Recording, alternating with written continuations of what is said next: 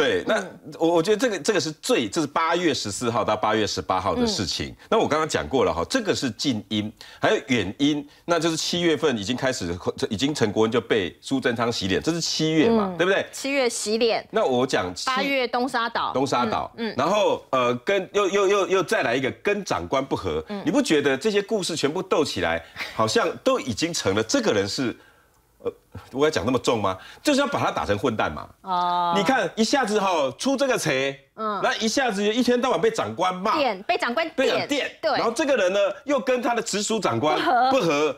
你如果在不管在公司媒体要弄走一个人，不就是这一套吗？那我懂了，就大家故意放一些消息，你看我讲的对不对？很多人就故意放一些管道给不同的媒体说，你看这个人，你看你看他跟他长官也不合，被总监骂喽。对，被长官跟长官不合哈，然后呢还被长官每天都被被总经理骂喽。对，螺丝没锁紧，每天要被总经理骂。最近又是谁？最近很多事情哦，包括陈玉珍的事情又遭奸哦，所以不适合，不适合，把他换掉也刚好而已。然后下面人都，哎，对哦，对哦，我们应该换长。官，整个气氛就形成，就把他换掉了。我现在要问的是，谁操作了这一整波的事情？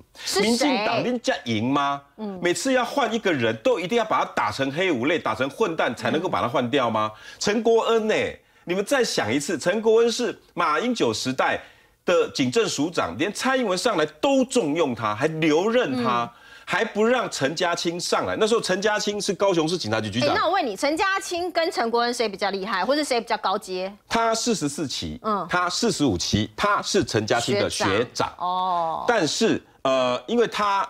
现在是到海巡署，跟他其实已经没有多大关系，但是两个人曾经有一段的交交手，就是他是署长的时候，本来传说他要接他，嗯，那因为陈局要上来接秘书长，嗯，那陈局是高雄市长，他是高雄市警察局局长，陈家清，陈家清是局姐的人呐，而且他始终到，因为那时候吼，民进党其实不好，你知道吗？那民进党大家认为说他应该不会执政了。所以那个时候没有陈局姐要问说谁要当警察局局长，谁要跟你陈局啊？你也不见得有，他是自己自告自告奋勇，他以副局长的身份说，我我接，所以陈局对他非常信任，所以陈局要上来的时候，大家都认为他不保了，嗯，所以那个时候他们又有一段的恩怨，所以我觉得陈国恩也好啦，嗯，你这几年来也辛苦了，被这样斗来斗去，然后被现在又要被这些黑函跟套路，民进党的官。饭碗不好捧吧？真的不好捧。可是如果是个人才哦，被这样搞来搞去哦，我觉得也有点可惜啦哦。能做事的人如果离开了岗位，对中华民国、对我们国家来说都是一个损失。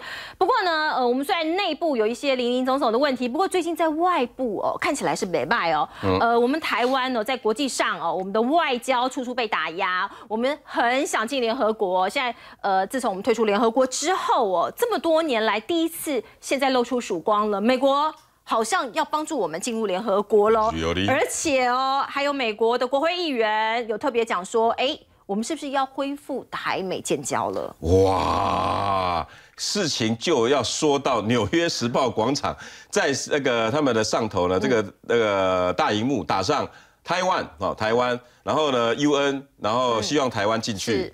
第七十五届联合国大会十五在纽约总部举办，我驻纽约办事处在时报广场就刊登了这样子的一个广告，是台湾 can help。Recover better together 啊，这个这个是我们的这个我们的政府在纽约的时报广场做的这样的一个广告，其实是对外宣传啦。我个人也不反对啦。我们看，其实它有一些影片，也许导播可以让我们下看一下。这个影片做的也蛮好的哦。那是不是可以让更多呃不认识台湾的国际友人更加了解台湾呢？我觉得是没败啦。那你可以看到，在纽约的时报广场，其实最近都空空荡荡，因为疫情的关系哦。那重点其实不在这个所谓的宣导短片，重点在哪里？在在这个昨天，A P 也就是美联社有一个这么的这样的独家哦，他还附了三张照片，你会不会觉得这三张照片好像剧照？有没有很像剧照，对不对？西雅图遇上北京是吧？有一点像是那种感觉哦。有人就说，哎，这两个人是在相亲嘛？没有啦，开玩笑的。跟大家介绍一下哦，左边这位穿着西装的男士，戴着眼镜的是我驻纽约办事处的处长李光章。那右边这位女女性啊，她是呃这个金发的女士，她是美国驻联合国大使 Craft 克拉夫特哦。他们两个人哦，昨天呃在这个呃曼哈顿纽约的曼哈顿哦户外餐厅用餐。你知道很有 feel 哈，那两个人有握手呃没有握手啦，两个人这个相谈甚欢。有人说哦，克拉夫特就是这个女生说，这个是历史性会面，怎么说嘞？因为呢，呃，我们其实因为国际处境的关系哦，过去美国驻联合国大使一般来说是不会跟我们有什么很近距离的接触了。嗯。可是哦，他们两个坐下来一起呃交换一下意见哦。他说这个 Craft 这个女生说，川普哦就是他们的总统正在寻求强化深化与台湾的双边关系。嗯。他代表美国政府这样的作为。那呃，希望两千四百万台湾人，我们台湾是两千三百万人哦，可以我们的声音可以被听见。如果美国不为台挺身抗中，谁会挺身而出呢？重点在这里，要一起抗中哈！不仅是台湾，还有香港。这个 Craft 表示和李光章讨论各种方法，要助台湾进一步参与联合国的事务哦。而且不止这样哦，在今年五月哦，这个女性哦，美国驻联合国大使 Craft，她在这个她的 Twitter 上有说。禁止台湾进入联合国是一种侮辱。那言下之意是说，应该让我们进去联合国，这样才不是侮辱嘛？哦，如果用语义上来翻译，应该是这样。我只下一个评论就好，你为什么不早说？为什么不早说？那我们现在呃来连线专家，这是正大国关中心的研究员严正生严老师好。严老师好。啊，主持人好，各位观众大家好。严老师，呃，美台真的有望建交吗？那美国的态度真的希望可以帮助我进入联合国吗？如果是真的，对我们所有的民众来说，都是一个非常鼓舞的事情。我觉得这两个都还很远啊。美国从这一次他们的这个驻刺青来台湾，看他用的这个原因是说来悼念李登辉总统，参加他的追思啊，这样的一个这个主轴来看。就是美国在改善台湾关系、美台关系，但是是不断的是 incremental，就是一步一步的，那不可能一步到位，说是变成是啊跟台湾会建交，或者是说能够帮助台湾国台湾进入联合国。那个台湾要进入联合国，美国也不是他说了就算了，那还有很多的国家要同意，我觉得这个是难度更高一些。美台可能美国自己可以做这个决定。但是这个对，毕竟对美国整体的国际战略来讲，是一个很出格的做法。我想他暂时大概还不会考虑啊。但是美台关系有在改善，只是我们不能那么急做一一步到位，会有什么样更具体的结果？只是在象征意义上或武器实质啊购买上面会有一些进展。是老师，那可是最近因为美台的关系的确是有相当大的互动，或者相当大的、相当大的进展。呃，我们的这个美国刺青啊来我们台湾，然后包括了这个。散发出来这些消息，像这个 A P，呃，我从我觉得像我们是做记者，我们看到 A P 发的这个新闻，就让我们觉得非常的这个有趣哦。通常哦，像这个呃，一般这个呃 A P 发的的的照片，不太可能有这样子的画面，感觉是远远的头牌或者是远远的牌。所以老师看到 A P 这个讯息，可以不可以跟我们进一步的解读？Craft 的哦，我觉得我们最近其实，在联合国啊，在纽约的处长也还蛮积极。的啊，之前我们也看到这个前任的处长徐立文有去参加一些，就是美国在联合国的一个会外会啊，那表示说，就是台湾好像啊，就是因为在国际呃组织当中被封杀，然后我们的外交邦交不断的在缩减，美国也是感觉到这是台湾的一个危机，所以美国希望能够帮助我们。那这些见面，我觉得大概就是在不超越。啊，就是美国跟大大陆这个一中政策的情况之下，有些时候见一面，并不是代表说会有多大的实质的进展，但是至少我觉得象征的意义是很够的。那我觉得美国也在给台湾一些底气啊，就是让台湾感觉到说啊，蔡英文总统现在既然选择要跟着美国来对抗中国的话，美国会在别的地方让他感觉上好像获得了一些好处。否则的话，他在台湾啊，如果没有获得美国这样的一些实质的或者说象征性的帮助的话，呃，而要开放美猪美牛了，然后不断的跟大陆对抗，造成这样台海紧张的情况，其实台湾的老百姓也会担心的。是老师，还有就是美国总统大选已经快要到了，如果说川普没有连任的话，我们现在看到很多这个台美关系这么好的状况下，呃，是不是有可能一切重来？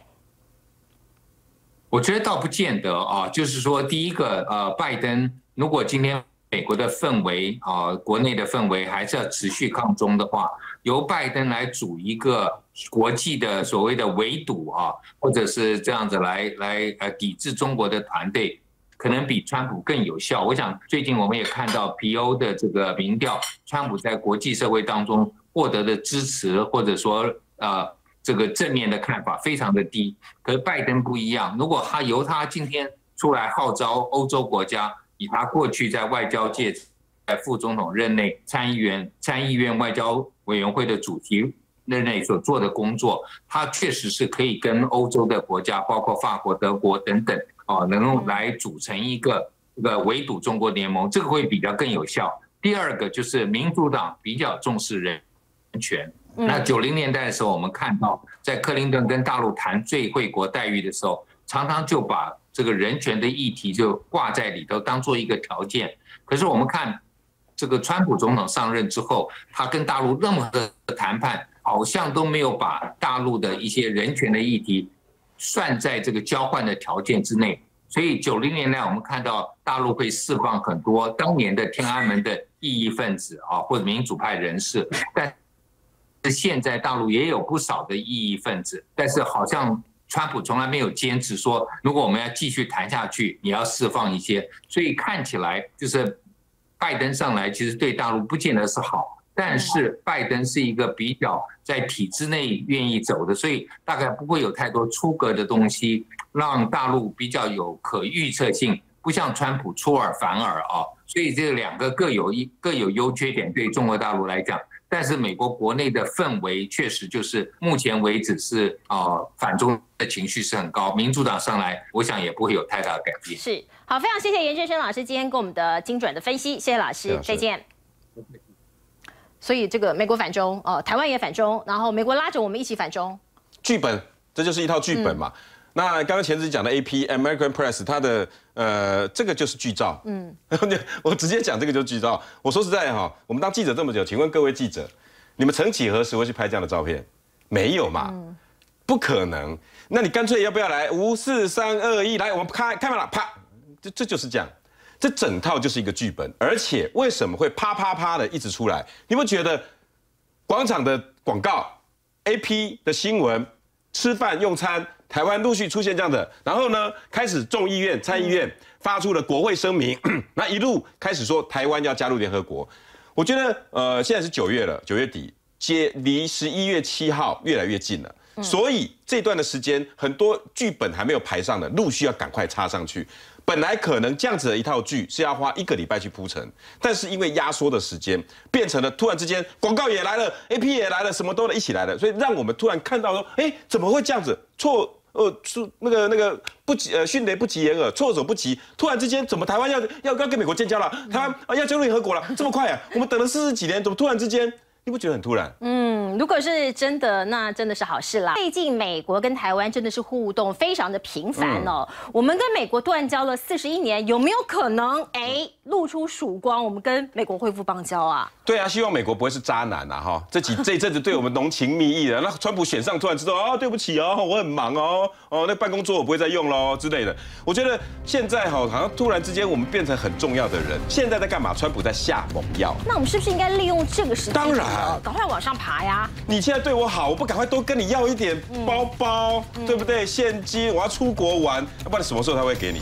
不过不管怎么样啦，如果说台美哦，或者是说呃，我们有望进入联合国这件事，对我们两千三百万同胞来说，当然是好事，当然是好事啊。可是不要变成空戏一场，被人家耍着团团转。